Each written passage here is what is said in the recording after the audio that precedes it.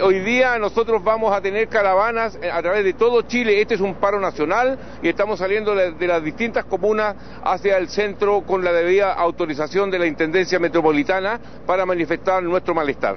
No sé si el carabinero obstaculizó el paso de la caravana, pero ellos... Hay bloqueos de colectivos. Eh, es que eh, si lo, lo, los vehículos están detenidos ahora, no sé cuál es la razón, pero lo que nosotros acordamos fueron eh, caravanas hacia el centro de la ciudad y de tal manera de hacer presente nuestras nuestras problemáticas y poderlas conversar.